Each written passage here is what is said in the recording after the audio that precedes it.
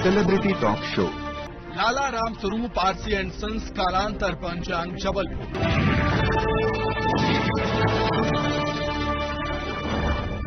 इरादे हो पक्के तो रास्ता ना मोड़ना। मुश्किलें आए तो सपने मत तोड़ना। हर कदम पर मिलेंगी रुकावटें आपको। कुछ भी हो बस हिम्मत मत छोड़ना। नमस्कार मैं हूँ Samya Tandon. News 18 Madhya Pradesh celebrity talk show हौसलों की उड़ान में आपका बहुत बहुत स्वागत है। आज हमारे साथ मौजूद हैं लाला राम स्वरूप रामचंद्र एंड सन्स के marketing head mister Shyam Jha ji. Mister Jha आपका बहुत बहुत स्वागत है हमारे शो पर। नमस्कार धन्यवाद। सबसे पहले तो मैं आपसे यही सवाल करूँगी कि 1936 से आपका ये पंचांग प्रकाशित होता आ रहा है। जी। क्या आप इस सफ़र के बारे में हमें कुछ बताएँगे? इसका महत्व क्या है और ये तब से क्यों प्रकाशित हो रहा है? जी सोम्या जी इसके पीछे लाला राम स्वरूप एंड सन्स एक संस्था की स्थापना 1936 में हुई थी जी। जो श्री रामचंद्र अग्रवाल जी ने करी थी जी। उनके पिताजी की स्मृति में। और उनका उद्देश्य था थी जी। जो श्री रामचंद्र अग्रवाल जी ने करी थी जी। उनके पिताजी की स्मृति में। और उनका उद्देश्य था कि उनके पिताजी की स्मृति अमर रहे। उसके लिए उन्होंने उसके पीछे उनका उद्देश्य था कि एक पंचांग बनाया जाए ताकि वो हर प्रकाश आज पिछले करीब करीब सत्तर अस्सी साल से बनता हुआ आ रहा है और आज भी वो नाम अमर है। कुल मिला के उनका उद्देश्य ये था कि पंचांग बनेगा और उनके पिताजी की स्मृति हमेशा ताज़ा रहेगी। मैं आपसे ये भी पूछना चाहूँगी कि पंचांग का महत्व क्या है हमारे जीवन में? पंचांग का महत्व देखिए, हम सब सनातनी हिंदू लोग हैं। हमारे जीवन में रोज नई नई तिथियाँ, नए त्योहार, एकम, ग्यारस, बारस, हर चीज़ें अलग अलग आती हैं। माताएँ भाभियाँ भाभियाँ हैं और बहुएँ हैं, बेटियाँ हैं। सभी के लिए ये कुछ न कुछ चीज़ें, व्रतों का, त्योहारों का बहुत महत्व होता है। उस व्रतों और त्योहारों में समय का भी बहुत महत्व होता है कि भाई चंद्रोदय कब है तो कब त्योहार है। इसकी सटीक जानकारी एक दीवार में लगे एक पंचांग के रूप में प्रेजेंट करने से उनके लिए बहुत सहूलियत भरा हो जाता है। नहीं तो पुराने समय में एक पुस्तिका आती थी जिसको रिफर करना पड़ता था। जी। या पंडित जी से बात करके हमको सब चीज़ों का तथ्य मालूम करने पड़ते थे उसी अनुसार हम आगे बढ़ते थे।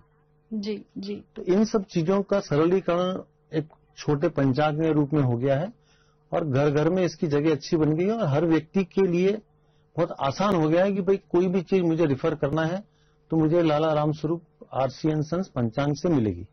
जी।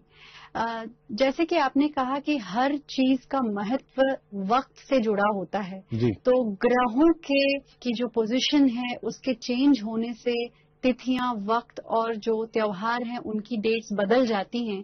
तो ये हर साल बदलती हैं। तो ये आप कैसे निर्धारित करते हैं? क्या आपके साथ कोई पंडित जी जुड़े हुए हैं या? हमारे साथ एक बहुत पुराने पंडित जी जुड़े हुए हैं। पंडित व्यास जी हैं। उनसे हम पिछले कई वर्षों से ये डेटा उनसे बनवा रहे हैं। और काफ़ी सटीक डेटा है। मतलब 99 परसेंट उनकी मतलब चीज़ें बहुत व्यवस्थित रहती हैं और तिथियों में भी त्योहारों में भी विवाह मुहूर्त है ग्रह प्रवेश के लिए मुहूर्त है मुंडन के लिए मुहूर्त है राशिफल है व्यापारिक राशिफल है। बहुत सारी चीज़ों में इनकी भविष्य मतलब चीज़ें सटीक रहती हैं। इसके अलावा ये पंचांग में काफ़ी भविष्यवाणियाँ भी देते हैं अच्छा। हर साल। अच्छा। उसमें कई ऐसे उदाहरण आपको दे सकता हूँ कि जो उनकी भविष्यवाणियाँ सटीक रही। जी। अभी अगर पिछले वर्ष की हम बात करें तो उन्होंने पिछले वर्ष की जो भविष्यवाणी की थी उसमें अपने बिहार में और महाराष्ट्र में राजनीतिक उथल पुथल हो सकती है। ब्रिटिश की महारानी का स्वास्थ्य में कुछ उतार चढ़ाव हो सकता है। आपने समझा होगा उनकी स्वर्गवास हो गया उनका। जी। ऐसी कई भविष्यवाणियाँ हैं जो सटीक रही हैं। तो उनका पर, उनके ऊपर लोगों का विश्वास बहुत सही हो गया है। और हर साल हम जो उनकी भविष्यवाणियाँ सही होती हैं जी। वो हम अगले साल के पंचांग में उसके प्रेजेंट करते हैं ताकि उस लोगों को हमारे ग्राहकों को इस चीज़ का अंदाज रहे। जी। जैसे कि आपने कहा कि ये पंचांग बहुत प्रचलित है जी। और हर साल आप इसे प्रकाशित करते हैं क्योंकि हर साल तिथियाँ बदल जाती हैं तो किन बारीकियों का आप ध्यान रखते हैं प्रकाशन करने से पहले? बारियों में बारीकियों में तो मुख्य जो चीज़ है वो तिथि है तिथि और समय। सबसे। इम्पोर्टेंट वही है। जो जानकारी जो इन्फॉर्मेशन जो हम देते हैं वो it has to be hundred percent perfect जी। उसी के भरोसे पे हमारी ये पंचांग आज इतना वर्षों से बराबर चल रहा है। और कहीं ना कहीं इसकी सेल में उसके बाज़ार में उसमें डिमांड बढ़ती जा रही है समय के साथ साथ अब समय काफ़ी बदल चुका है परंतु अभी भी इसमें कोई ऐसा बहुत ज़्यादा हमको परेशानी नहीं आई है। कि हमारी सेल डाउन हुई हो या मार्केट में डिमांड कम हुई हो, ऐसा कोई अभी तक हमको, ऐसा कहीं असर नहीं आया ना, कोई फील हुई ऐसी हमको। जी जैसे कि आपने कहा कि लोगों को बहुत विश्वास है और जो पंडित जी पंचांग बनाते हैं उनकी भविष्यवाणी अक्सर सही होती है 99 परसेंट सटीक होती है तो लोगों को आपके पंचांग पे बहुत भरोसा है। जी। लेकिन एक और आपने एक बात कही कि बदलाव जो आ रहा है हम्म। वक्त बदल रहा है लोग बदल रहे हैं तो वक्त के साथ सभी को बदलना पड़ता है तो आपके पंचांग में क्या बदलाव आया है? पंचांग में बेसिकली अगर उसके भौतिक रूप की बात की जाए जी। तो पिछले कई वर्षों में उसके जो प्रोडक्शन में उसके मुद्रण में हमने बहुत परिवर्तन किया है उसके लेआउट में हमने बहुत परिवर्तन किया है लोगों के जो सजेशन हमारे पास मेल से आते हैं अच्छा। चिट्ठियों से आते हैं उस अनुसार हम काफ़ी चीज़ों को परिवर्तित करते हैं।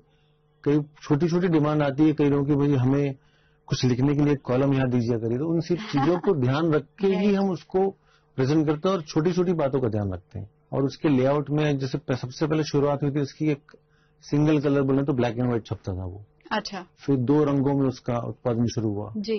अब पिछले पंद्रह बीस सालों में हम सबसे प्रथम थे जिन्होंने उसको एक मल्टी कलर में प्रेजेंट किया हमने उसको जिससे उसका लेआउट उसका आकर्षण बहुत बढ़ गया उसका। जी। मैं ये भी जानना चाहती हूँ कि लोगों को ये कैसे पता लगेगा कि जो पंचांग वो खरीद रहे हैं बाज़ार से वो सही पंचांग है? क्या इसकी कोई पहचान होती है? हमारे पंचांग में हमने दो पहचान को ज़्यादा हम उसको ज़ोर देते हैं। जैसे कि एक पंचांग का नंबर है A seventy two triple four बहत्तर चार सौ चौवालीस। अच्छा। तो लोगों के दिमाग में अलग अलग माध्यमों से अलग अलग तरीकों से उस नंबर को हम हैमरिंग करके कि भाई आप बहत्तर चार सौ चौवालीस वाला पंचांग असली पंचांग ही खरीदिए। अच्छा। वो अलग अलग माध्यमों से उनको हम बताते हैं। बताते हैं। हम्म, और दूसरा हमारे पंचांग में सबसे ऊपर एक थ्री का एक लोगो लगा रहता है एक थ्री उसमें हम लिखते हैं कि ये जो लोगो लगा है ये सही पंचांग है असली पंचांग है। ये दो उसकी खास पहचान है जिससे लोग उसको खरीदते हैं। तो ये जो आपने नंबर बताया ये क्या कॉपीराइट नंबर है? कॉपीराइट नंबर है और जब से शुरू हुआ तब से नंबर हमको दिया गया है। अच्छा। हाँ। तो वो तब से लोगों के दिमाग में हैमर करते आए हैं और लोग उसको दिमाग में लेके करते हैं। कई माध्यमों से करते हैं। कभी कभी हम रेडियो पे करते हैं कभी टीवी के माध्यम से करते हैं। कहीं ना कहीं प्रयास करते रहते हैं लोगों में अवेयरनेस क्रिएट करने के लिए। एक बात मैं आपसे और पूछना चाहूँगी कि अक्सर जो है लोग पंडित जी के पास जाते हैं और भविष्यवाणी कराते हैं अपनी पत्री दिखाते हैं। लेकिन बहुत मुश्किल हो जाता है ये समझना कि जिनके पास वो जा रहे हैं क्या उनके पास इतना ज्ञान है या नहीं है। तो मैं ये चाहती हूँ कि आप हमारे दर्शकों को बताएँ कि किस तरह से पत्रिका या भविष्यवाणी का इस्तेमाल होना चाहिए और किन किन चीज़ों से हमें बचना चाहिए। देखिए हम जब भी किसी विवाह मुहूर्त के लिए या विवाह के लिए या कोई गृह मुहूर्त के लिए पंडित जी से जब बात करते हैं तो हम जाते हैं तो कहीं ना कहीं उन पंडित जी पे हमें विश्वास है सबसे हम्म। पहली चीज़। विश्वास है हम तभी जाते हैं। पंचांग भी एक विश्वास है लोगों का। पंचांग में जो जानकारी दी वो बहुत सटीक है और उस पर हंड्रेड परसेंट लोग उस पर विश्वास करते हैं और आगे बढ़ते हैं। मतलब आपको अगर विवाह करना है तो आप मुहूर्त देख सकते हैं, सीज़न में कौन सी कौन सी डेट में विवाह का तारीखें उपलब्ध हैं, कोई आपके घर, गृह प्रवेश करना है तो उसके लिए भी। उसमें आपको बहुत ज़्यादा पंडित जी से रिफर करने की आवश्यकता भी नहीं पड़ेगी। आपके अपने जो पंडित जी होते हैं उनसे। और अगर करते भी हैं तो कहीं ना कहीं विश्वास है, आप तभी करते हैं। तो जो बात वो बोलेंगे उसको तो आपको स्वीकार करना ही है। विश्वास सबसे बड़ी चीज़ है पंडित और आपके बीच में। जी लेकिन और वही सब जानकारियाँ हमने इसमें दी हुई है पूरी। जी जी। जो कि आपको घर बैठे मिल जाएँगी आपको पंडित जी के पास भी जाने की आवश्यकता नहीं है। जी। एक चीज़ मैं ज़रूर जोड़ना चाहूँगी कि ज़रूर पत्रिका और पंचांग का इस्तेमाल करें लेकिन कर्म भी करते रहें बहुत ज़्यादा ये ना सोचें हाँ, कि तो है। जो है बस वही है और हमें कुछ नहीं करना है। कर्म तो खैर आवश्यक कर्म के बिना तो कुछ होना नहीं है। जी। तो श्याम झा जी बहुत अच्छा लगा आपसे बातचीत करके और आज आपने बहुत सारी चीज़ें हमें बताई नई बातें बताई और ये भी बताया कि असली पंचांग खरीदने के लिए हमें किन चीज़ों का ध्यान रखना चाहिए और पंचांग से हमें क्या क्या जानकारी मिलती है ये भी आज हमने आपसे जाना। आपने इस क्षेत्र में बहुत योगदान दिया है और आज हमारे ये जो मंच है news 18 Madhya Pradesh celebrity talk show हौसलों की उड़ान में हम आपको सम्मानित करना चाहते हैं और आपके इस योगदान को सराहना चाहते हैं। जी।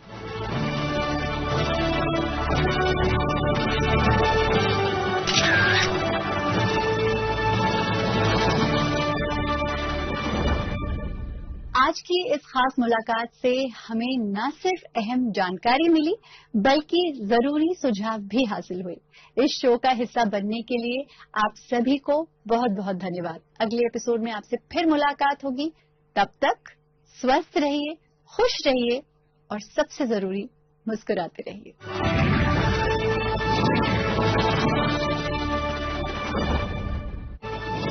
Celebrity talk show Lala Ram Swaroop RC and sons कालांतर पंचांग जबलपुर।